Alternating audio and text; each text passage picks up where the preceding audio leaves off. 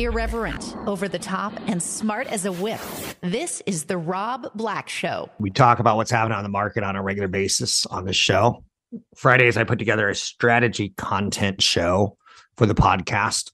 if you're looking for more daily news, you're looking more for Monday through Thursday. If you're looking more for strategy, looking at this Thursday podcast for a long weekend. Um, it is what it is. Hopefully, it helps you. Stocks are edging higher today as the market looks past Russia to the Fed. What Russia said last night was nothing short of shocking. And yet Wall Street's going, yeah, what's the Fed going to do today? And it's interesting because we don't really believe in the back of our heads that Putin's willing to throw a nuclear bomb in a country neighboring his country, destroying his legacy, if there's anything left of his legacy at this point in time.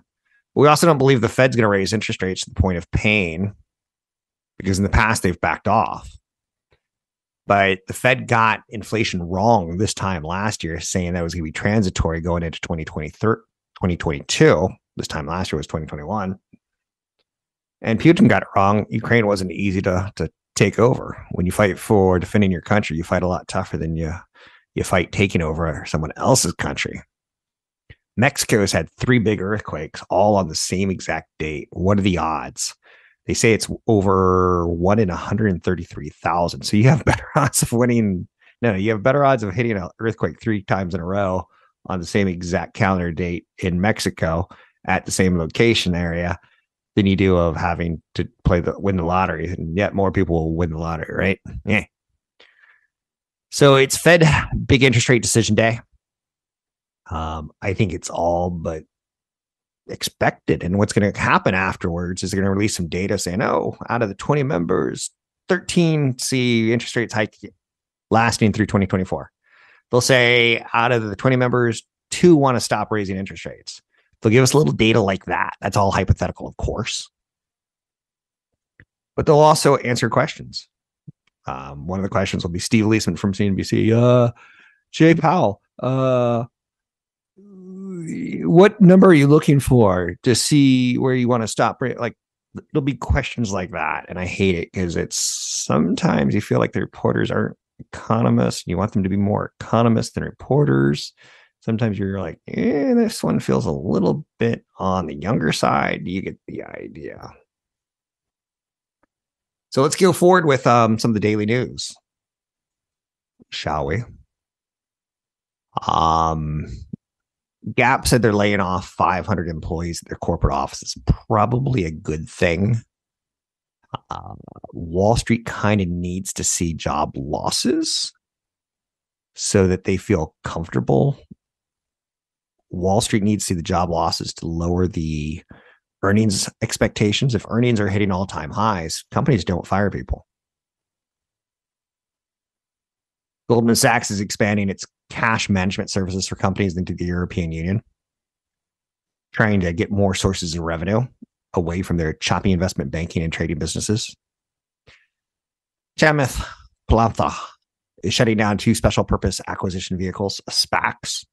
SPACs were a big story in the last two years as companies really, maybe it was the COVID thing, maybe the investment bankers uh, didn't want to meet in their high rise towers so companies were coming public as I've got $2 million or I've got $2 billion. Let's use a bigger number. And I'm going to go find a media company who believes in me. I'm going to go buy a company that's ailing. Uh, so one of the most speculative investors out there saying, I, I got to shut this down because they're, I can't find anything to, to boy equals money looking for a girl equals corporation. I can't find any mergers. Hmm. Companies are rethinking corporate travel policies as business class tickets sometimes hit as high as $20,000. Can you imagine? Uh, I will use first class like once every five years if it's on points and if it's across an ocean. Never using first class on a three hour or less trip, not with points. I know you're saying, great. Last night, Russian President Vladimir Putin announced partial mobilization for reservists. Today, you're seeing plane tickets out of Russia skyrocket. It's the first mobilization in Russia since World War II, and it comes after humiliating battlefield losses for the Kremlin's forces in recent weeks. Um, the Kremlin said, We're going to swallow up four regions and we're going to try to annex them as we did with Crimea. Um, the world's like, Nope, not this time. You got away with that silliness last time. And Putin's like, You know, I got nuclear weapons. I'm not bluffing. I got nuclear weapons. So, a couple things on the Fed rate hike. How will it affect your plans to buy a house? You're getting socked by higher interest rates, uh, borrowing cost. How do higher interest rates affect the stock market? It's two. There's the higher rates and how it affects individual stocks, and there's also higher interest rates and how it affects, affects recessions. Recessions obviously affect stock markets. Fed rate hikes, do they affect all credit cards? Typically so. So your debt becomes more expensive to service. Auto loans, yep, a little less painful there. Um, student loan question marks, mm, okay. But bank savings is one area that it's a positive. So I've got a Flourish money market account. It's F O L O U R I S H. You can find a similar money market account by going to bankrate.com. Mine is corporately tied towards EP Wealth. So it is uh, industrial grade compared to what typical consumers get who don't have financial planners. You can check it out at flourish.com, but also just check out bankrate.com if you're looking for something to sock away some of your cash in, getting better than 0%. Anxiety amongst women are at a 10 year high. Wonder why that is. Biden is going to be at the United Nations today talking about Russia and Taiwan. It's his second address to the UN. Adam Levine is denying affairs amid wife Behati Prinsloo's pregnancy, admitting he crossed the line. Many women are coming out saying, Yep, he did that with me too. And in my world, I'm like, who cares? But it really is one of the flaws in in humanity is, is, social media makes it way too easy to do stupid things. Please tell your children to monitor their social media and not to do stupid things. In a bit of good news, the Sultan of SWAT, Aaron Judge, hit his home run number 60. He's on the brink of reaching Roger Maris's mark, and it's just fun. You know, I tuned in the game last night to see if nasty Nestor Cortes could shut down uh, the Pittsburgh Pirates. Nope. And in the ninth inning, Judge hits a home run, and the Yankees rally for five runs to, to come out and win. It is a rare moment of entertainment in a world that's just like, ah, stock market, inflation, down markets. You get the idea. Um, one quick thought for you. You know how you feel bad for yourself? Maybe you've lost some in your 401k. I don't look at it on a one year basis. I look at it on a three, five, 10, 15 year basis and I'm stoked. I'm happy. Um, if I have to take one bad year to get 10 good years, I'm in. But Mark Zuckerberg's net worth has fallen $70 billion. Woo! That's not a rounding error. I think shareholders will get very frustrated with him very fast. Will he survive 2023? Or will the board do the right thing and say, you're spending too much money on the metaverse? I'm Rob Black, talking all things financial, money, investing, and more. A straightforward approach to managing your money. The Rob Black Show. In a slow housing market, Sellers ask, why list a home when you can collect rent? Are you ready to be a landlord? Is the question. And I'll tell you what, it's not all that it's cracked up to be. I've done it correctly where I had a business and I bought an office property and paid myself rent. That's awesome. I've done it incorrectly where I bought a home out of the market in a market that I've only set foot in twice in my life for two weekends, once to buy a real estate property, another one driving through to check on it. That's the wrong way to do it. But the home that you're living in now, you're saying, eh, I'm ready to move on. I'm ready to retire. I'm ready to go somewhere else. It's going to be tough for you psychologically to say, I'm going to put on the market and take 10% below what I could have got three months ago. But that's kind of where we're sitting at right now, depending on the quality of your home and how much it is. Some people have decided to rent out their home. I've always had a problem collecting above market rents. I've always had a problem psychologically saying, yeah, overpay me or I'm going to gouge you. I tend to go into it with a mentality of, eh, eh, make it a little cheaper than the average. Try to get a good quality renter in for two years instead of one year. And that doesn't always work, right? In fact, I probably have the wrong mindset to be a landlord because I, I, care too much. And my property management company allows me, they're like, hey, the, the, the tenant's complaining the air conditioning's not working. I'm like, buy new air conditioning. It's 100 degrees. Why didn't we service that last year? And then I throw out a curse word under my, my mouth. Like, I get it. Homeowners often rely on the proceeds of a home sale for a down payment or to help them qualify for a mortgage to purchase a new home. You're starting to see companies like Zillow and Opendoor say, you know what? We tried to flip houses and we're having a problem doing it. You're seeing the phenomenon of delisting and renting becoming very noticeable now. I, I hope you get property management. I hope it's good quality property management because they all differ like gold and clay. Properties that were leasing out for $1,500 last year now have been pushed up by another 300 to $400 a month, making them much more profitable on average across America. An increase in rental inventory, inventory could help flatten rent growth.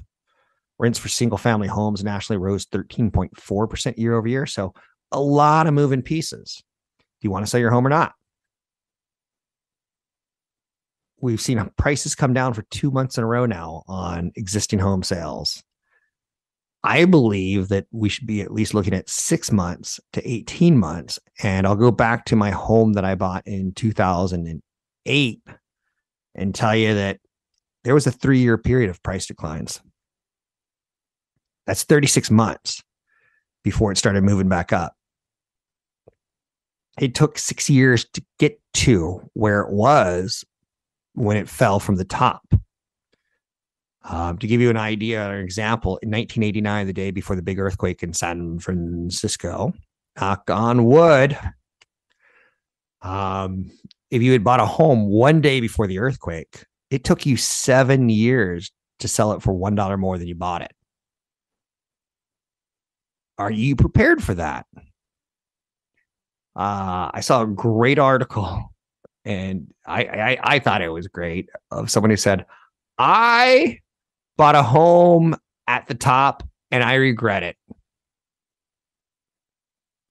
I bought a home at the top last year. I, I, got five more months of watching it increase. Now I've seen two or three months of watching it decrease. I'm still up, but in the end, I do expect to be upside down on what I paid before things settle down and start resuming a normalized growth because it was just crazy the last two years. Um, of 1999, uh, not 1999, 2019, 2020, 2021 were just three back to back crazy years of price increases. Super low interest rates were the catalyst for it. I am a homeowner. I am a have. If you do not have, you're like a renter and you're like, you're killing me, Rob. So some people are feeling this phrase. It seems like I bought my home at probably the peak of the market. I get it. And the unfortunate phrase next is I'm kind of feeling a little regret because it's not the home that I want to be in for the long term. I got in just because I had to get in because prices were going up at an impossible rate. What should I do? People practically can't take $100,000, $200,000 in losses. Um, for me last year was a more expensive year in home maintenance than any other year that I've ever had in my life because I bought a home as is. And then I noticed the funky smell in the basement. So I had to figure out how to get that removed, i.e., water from around the house, moving elsewhere. Expensive. Um, I'm just going to throw it down to you. This segment is about turning your home into a rental. Are you sure you want to do that? I'm not against it. It's just a whole nother business model of watching how your finances play out. I am not against it. I think there's some successful rentals. I think there's some very problematic places to rent. And I, I wouldn't want For instance, the home I'm in now, I would have to rent it out for almost $8,000. And I just feel weird asking people for that much money on a monthly basis. But that's what it's worth. That's what other homes are renting for. So, on top of that, finishing this idea of you feel like you had to get in last year at this time, you probably have a pretty good mortgage rate. So, if you bought a home and you're feeling regret, as long as you didn't pay cash, mm-hmm. you probably have a pretty good interest rate when I bought a home and I saw the home values go down, I got in at the last year, but prior to that, two years straight down, I would have had a pretty good mortgage rate and I would have felt pretty good about that on a 30 year basis, a 15 year basis. But definitely on a one year basis, there's a weird teeter totter between price of a home versus interest rates. If I'm going to be in a home for 10, 15, 20, 30 years, I want low interest rates on the mortgage if I'm going to be in a home for two to three years, I want to use an adjustable rate mortgage and I want to see house prices fall. It's not black and white. I'm not going to sing the song. It's the beauty of gray. No, it's not black and white. I'm Rob Black, talking all things financial. Find me online at Rob Black Show, Twitter, Rob Black Show, YouTube, Rob Black Show. Thanks for listening. Don't miss an episode of The Rob Black Show. Subscribe wherever you listen to podcasts. Join me now, Patrick O'Hare with briefing.com. It is Fed Day. It's always interesting what happens on Fed Day because it is kind of like you expect. It's a, a big mess. A lot goes on. We start one way, we may go a different way. We may go way higher, we may go way lower. It's impossible to say at this point in time. Mr. O'Hare, briefing.com. I start my day each day and every day with your page one column and today it's pretty much so dedicated to the Federal Reserve. Is is that what we have going on, or is there anything else you can find? Yeah. Good morning, Rob. Nice to be back with you. Um, well, clearly the uh, Fed meeting is the focal point today. Um, but there is something else going on that is kind of being marginalized at the moment because of the focus on the Fed, and that's you know, what President Putin announced in terms of, you know, mobilizing more reservists to, uh, to basically ramp up the war effort in Ukraine. Um, that has surprisingly kind of become a backseat issue today, uh, but could come home to roost uh, a little bit further down the road here. I think some world leaders are talking at the UN today. So that, that, will hit the, the news cycle, but probably not until this evening. Um, but this morning we do get the Federal Reserve, and it's widely expected 75 basis points. Some people are saying 100 um, as kind of a shock and awe. I think I saw one analyst say 150 basis points. Just get it over with, rip off the band aid. Um, seeing that it takes quite a few months for interest rates to bleed into the system, we're seeing softening in housing. We're seeing uh, softening in the rental market. Maybe not as fast as the Fed wants, but we're seeing some of the high end um, what more does the Fed want? Do you think? Or and again, this is a national pastime, right? What's what does the Fed think? Who's going to win the Super Bowl? Right. Thoughts? Well, I think uh, to be a little bit flippant, I think the Fed wants about another 600 basis points off the rate of inflation. Uh, okay. We have, uh, you know, CPI was up 8.3 percent year over year, and and the Fed's target is two percent. Uh, now, granted, that is you know, driven largely by a, a PCE inflation forecast. But nonetheless, um, you know, we saw quite the nasty reaction after that August CPI report because it was apparent to all market participants that the inflation rate is not coming down as quickly as people would like to see it, and therefore uh, it leads to the conclusion that you know the Fed is going to have to not only be more aggressive with its rate hikes, but be uh, more stubborn in terms of staying at these higher interest rate levels. Um, so, um, so the Fed certainly wants to see, you know, inflation trending lower and getting there, you know, sooner rather than later. But um, I think one of the things that really jumped out to us at briefing.com with the Jackson Hole speech is that it was finally that that moment where um, where you got a sense that Fed Chair Powell and the Fed really means business now in terms of regaining the inflation fighting credibility that it that it lost, frankly. And uh, you know that's also why you know we don't think it uh, we don't think that the Fed chair is going to come out today and sound as if he has a softer tone. Um, you know, I said in my page one column that I think that that would be foolish uh, because it would just uh, it would just undo all of the uh, good inflation fighting will that was built with that Jackson Hole speech. Um, so, um, you know, it will. I think the market's reaction today largely depend on if there's any you know new information or a new tone from the Fed chair. But if you get more of the same with the 75 basis point rate increase that's widely expected, uh, you could see a market that does do well in the wake of that uh, determination because it has done so poorly uh, in recent weeks and certainly since Jackson Hole up to this point. And it's created a little bit of an, a short-term oversold condition. And so the market might find a reason to rally on the basis that, uh, that things were better than feared today. I saw an interesting quote about the Federal Reserve. They have to hurt someone. Um, my home price is down on a year to year basis my well no that's not actually true on a month to month basis maybe it peaked in january and i'm starting to project that i forgot i had gains in the last half but it's also hurting my 401k um, but i'm considered wealthy um, on the other hand if if you keep rates low uh, maybe i keep hitting 52 week highs in my net worth but maybe the middle class and the lower class of america um, have trouble fighting inflation, keeping up with cost of living versus wage inflation that they're not getting to the tune of cost of living inflation. Um, do you agree that the Fed has to hurt someone here? Well, you know, I don't like to say that it has to hurt somebody, but it inevitably will, um, because you know the the stated aim right now is to weaken demand, and uh, the Fed chair himself kind of keeps pointing at the tightness of the labor market as something that is uh, creating undue concern at the Fed about inflation pressures you know, remaining high. And, you know, it, you know, the Fed indirectly wants to weaken that labor market to take off some of the wage-based inflation pressures that's bleeding through to some of these, you know, the broad-based inflation trends we're seeing.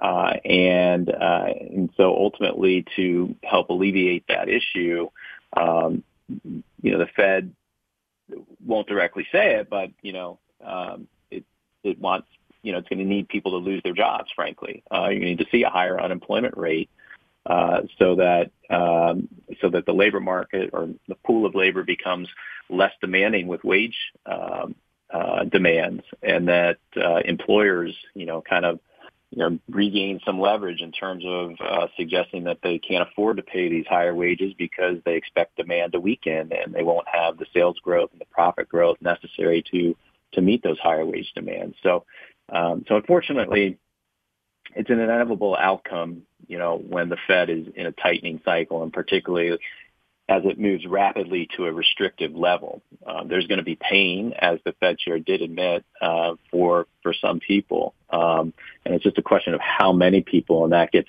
back to the issue of is this a soft landing or a hard landing?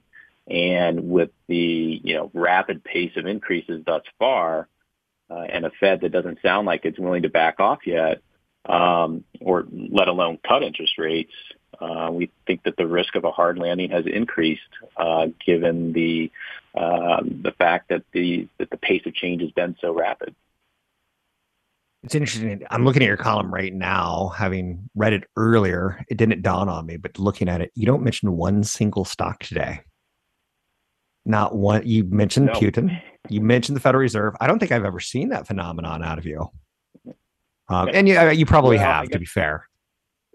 Yeah, I guess you know subconsciously, perhaps it's just it's the manifestation of, of of knowing that this Fed meeting is the focal point, right? Because everything will feed off of what is heard today uh, not only uh, seen in the directive but heard from Fed Chair Powell, and then that will of course create a lot of individual stock reactions. But I guess I could have pointed out how General Mills uh, reported better than expected earnings and raised its guidance for for fiscal year 23, uh, which is good news for General Mills. But the driver behind that increased guidance and behind its you know, uh, very good earnings results was the fact that they were able to pass through higher prices. And, uh, you know, and even with their guidance, they're suggesting that they're likely to see low double digit percentage increases in terms of, uh, you know, price realization. Um, that's not a good thing. You know, double digit price increases, that's not what the Fed wants to hear that's not what a consumer wants to see. And it just kind of gets to the heart of the matter that, you know, we might be stuck with, you know, higher inflation for longer than people might, you know, might want to believe. And that the consequence of that is that you're stuck with a Federal Reserve that's going to be a lot more hawkish with higher interest rates for longer than people think. One of the more interesting articles that I've I've looked at in the last three months basically said we've had 15 years of basically no interest rates. Well, that's not quite right, but it's close. It's the right idea. And it said prepare for the next 15 years of more normal interest rates. And you and I talked last week, like mortgage rates aren't crazy right now. They're crazy compared to what they were in the last five years, but not in the last 50 years. Uh, do you think we're in a, a, a shifting market that it's going to be a different 15 year or 10 year or five year cycle than it was um, as an investor the way we approached it in the last 10, 15? Well, Has the game changed? Yeah, entering, yeah, we're entering something new here. The duration is is uh, in question, but um, you know, it's funny you mentioned that, Rob, and it's kind of I think born out of the conversation you and I did have last week. Is and, and what you oftentimes ask me at the end of these interviews is, you know, what I'm working on for the big picture column uh, that I post on Friday. Mm-hmm. And one of the main ideas I'm I'm exploring right now and researching is just this idea of what you know what quote normal looks like, right? Because we have been spoiled for so long with these rock bottom interest rates and with a stock market that you know seems to go up double digit percentage, you know, most years. Um, and and a Fed that's you know out buying treasuries instead of you know selling them. Um, so you know that column might be oriented this week around just kind of a, a chart snapshot of you know what normal has looked like, and so people can kind of get their mind around that uh, the period you just talked about, whether it's just from the financial crisis up to now, or or even since the pandemic started, that, that that's an abnormal situation, you know, where you've got interest rates at the zero bound, um, and, you know, and where we've had very, you know, uh, below trend GDP growth for an extended period of time. So, um, so that, that'll be probably the focus of that column this week, but, um, but it's definitely something that people are going to have to get acclimated to, I think, for, for a few years anyway, that, uh, they're going to be dealing with a higher, um, interest rate environment, and that will, you know, lead to some different decisions than they might have made when it was at rock bottom interest rates. Thanks very much. It's Patrick O'Hare with briefing.com, a reliable source of international and domestic news. Big day on the Fed. His writings are insightful. I use them every day. The Rob Black Show is brought to you by EP Wealth. Learn more about EP's unique approach to managing wealth at robblackshow.com. I live in the Bay Area and I will not go into San Francisco the week of Dreamforce. Just not worth it for me. Too many out of towners come to San Francisco networking, talking trash about business, going to concerts like uh, the Red Hot Chili Peppers, also known as the Chili's if you're kind of cool like me. I'm the cool kid. I'm the corner laugher, the kid who sat in the corner laughing at other students. That's me. Um, but it's also like lanyard badge mingling time. I'm really kind of happy to see it. Um, this year more so than most, in large part because the consequences it has on a city that I love, that lives off tourism, dies off tourism, thrives on hospitality. I think it has a lot to offer. Yes, our streets are problematic with homeless and with drugs. And that does hurt international tourism in the city by the bay. But holy mackerel, September is a great month to visit the bay. Usually, this year's been particularly chilly when it's typically particularly warm. The old proverbial Indian summer, uh, which I don't even know if that's politically correct to say anymore. I'm so messed up. I think we could do a whole show of Rob's thoughts on politically correct. What can I say? What can I not say? Um, and we could just have the you know family feud x and almost everything that comes out of my mouth that i want to say that i can't say. It's a pivotal moment for san francisco right now. Hotels have stepped up. There's a lot of space. There's a lot of uh, there's no occupancy. So it looks fully occupied for the week september 20 and 21 22 It's the largest convention in terms of attendance. It's also the most impactful because it brings a lot of money and a lot of power lunches and power dinners. It'll generate $400 million, which is a far cry from the estimated 1.1 billion that the Moscone Center Dreamforce um, pulled off in 2019. So down from 1.1 billion down to 400 million, but it's a big increase from the 20 million in 2021. It's a pretty big thing when you start looking at the dollars attached to it for a three day period. San Francisco's tourism is bouncing back from COVID 19 pandemic. Events that attract major publicity like Dreamforce are an opportunity to mold national narratives around the Golden Gate being open for business. Um, attendees go out to eat, they go out to shop, they stay in hotels. Uh, I I see this as an interesting time to say the least.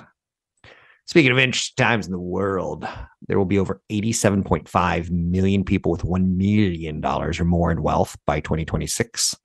That's up from 62 million in 2021. Okay. Okay. We can work with that. Gap is eliminating 500 corporate jobs. Did Kanye West Yeezy cause this? Believe it or not, Gap is kind of hinting that um, they're having some problems.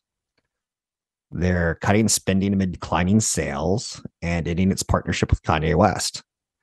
I would have thought they would have been bigger than blaming Kanye West.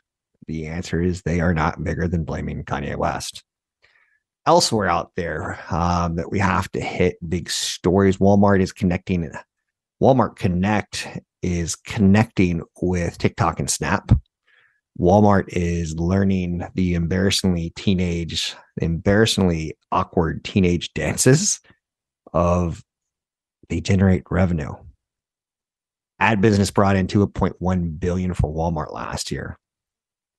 Uh, getting to know the Generation Z shoppers, you get to know them at TikTok and Snap. You don't really think of Walmart as a TikTok or Snap kind of player, do you? TikTok is expecting nearly triple its ad business to 11 billion this year. Snap, on the other hand, fell short of expectations. Um, everyone's having to deal with Apple's iOS privacy changes. I just want to say a hats off to Walmart for actually being part of a story that we're not laughing at. I mentioned earlier in the show that one of my friends is thinking about selling his house. I'm like, you could also think about renting it, maybe for two years, uh, so you get your tax deductions that you want. And that's just something that doesn't he doesn't want to do. But he also wants to sell at the top, but he doesn't. He missed his opportunity to sell at the top. I believe that housing now is in a six month, 18 month correction. And we're two months into that. Uh, the data that came out on existing home sales today showed that sales fell for a seventh straight month. Prices dropped for a second straight month. Year over year revenue uh, prices are still up 7.7% in the United States. Average median listing is $389,500. Uh, one year ago, it was $361,000. First time buyers account for 29% of all transactions, consistent with July of 2022 and a year ago. The number of homes for sale declined. Properties sat on the market for 16 days in August, up from 14 days in July. When properties start sitting for 90 days, that's when home prices really start dropping aggressively because the it has to be priced to move, move, move, move, move. Cash sales account for 24% of total sales. Elsewhere, Andor, the latest Star Wars series, premieres tomorrow on Disney Plus. It's getting rave reviews as I kind of feel Disney keeps going to this well. A little bit too much of superheroes, Marvel, Star Wars, uh, prequels to characters we've seen probably die before or characters we've seen before coming in and out of the canon. But Rogue One gets stars like Forest Whitaker, and um, eh, the sets look fantastic but is enough to get you Disney Plus? Eh, eh, eh. Diego Luna, I think, is a, a, heck of an actor. He's fun to watch on screen. Um, 800 516 1220 to get your calls on the air. Anything that you want to talk about, we can talk about. Let's take a quick look at the overall market. It's game day by the Federal Reserve. Trepidation ahead of the FOMC decision, updated summary of economic projections, and Fed chairman's press conference afterwards. We're going to get a lot of data. We're going to watch the treasury yields and see how they react. Do they trust the Fed or not trust the Fed? Do they believe the Fed's doing what they're supposed to be doing? The treasury market will tell no lies today after the Fed releases their decision.